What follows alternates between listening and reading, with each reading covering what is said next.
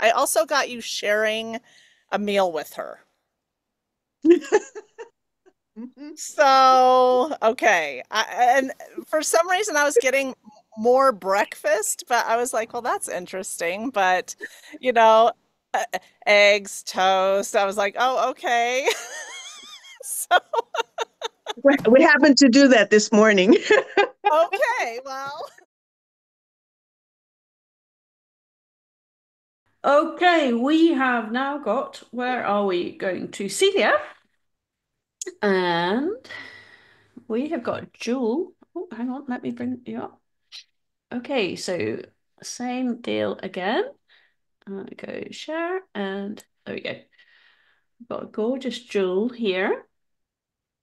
Okay, so Jewel belongs to Celia. She is 10 years and, sorry, eight years and 10 months, a female. Um, she came to Celia when she was two and a half, well, just under two and a half years as a rescue. Um, she shares a home with Paige Applegate and her cat Dave in Santa Cruz. Previously lived with your mother, Celia Senior, in Oregon. Question one Is she happy living in California? Question two Why does she growl at other dogs or people when I walk her? And question three Would she like more dog play dates or overnights at Chris's house? Okay, we will be back shortly. You want to go first? sure. I'd be happy to. So, I just want to say, you guys, thank you all for bringing us just these beautiful souls to read today. Oh my gosh, all of them have been just a joy. Oh, okay, Miss Jewel.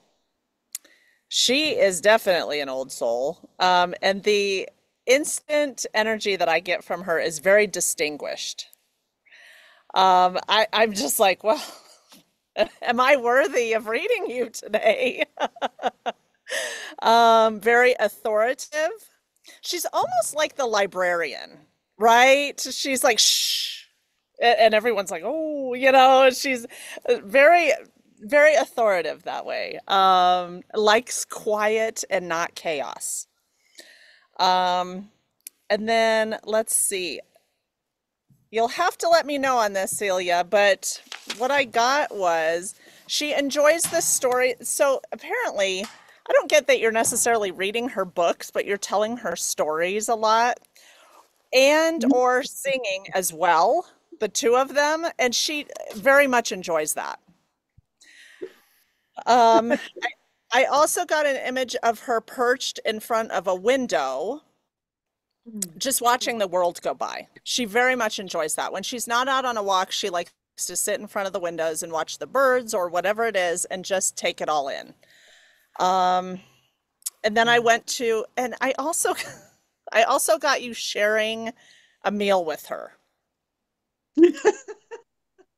So, okay. I, and for some reason, I was getting more breakfast, but I was like, well, that's interesting. But, you know, uh, eggs, toast. I was like, oh, okay. So, We happened to do that this morning.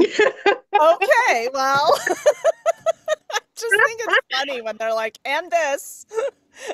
Make sure you mention I like this.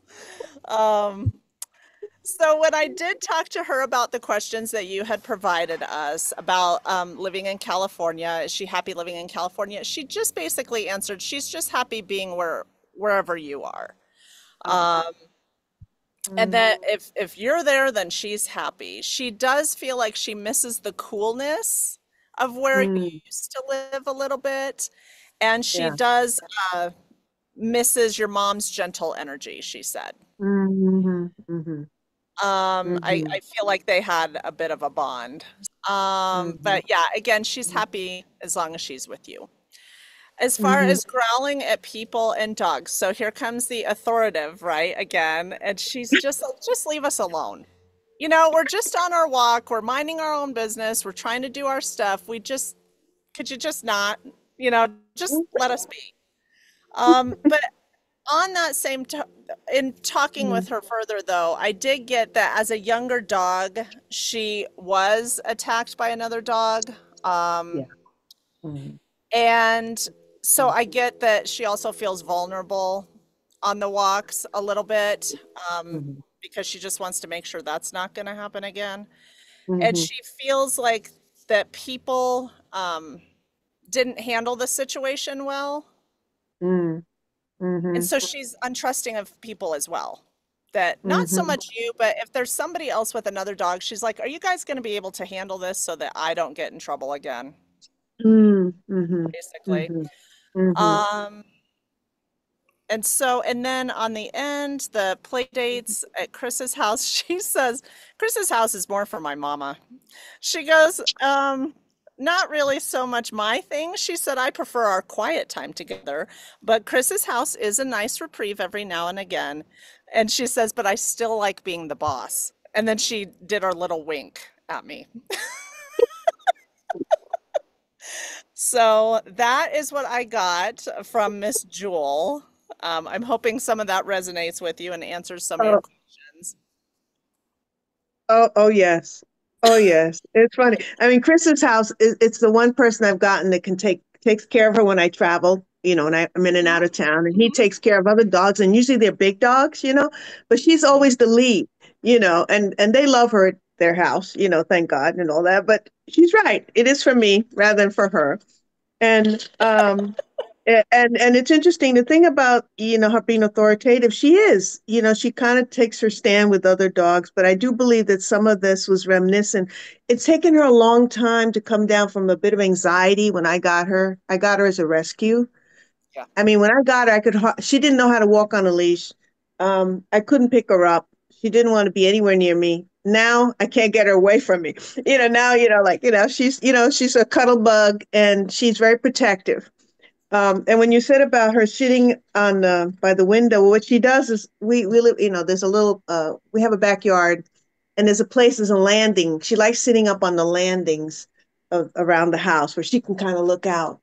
And um, yeah, well, good. I'm.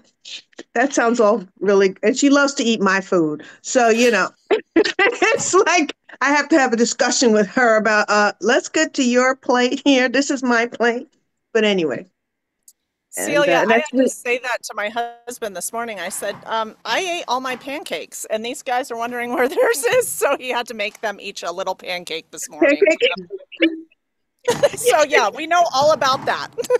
you know about that, right? Yeah, yes. Oh, thank you. And my mom will be you. happy because my mom misses her dearly, uh, and she did have a good bond with her. And but she and we did live in Portland, and now we live in Santa Cruz, and so it was cooler in Portland. And she and Jewel isn't crazy about the heat, but it's okay. Smart girl. well, Thank thank you. you so much.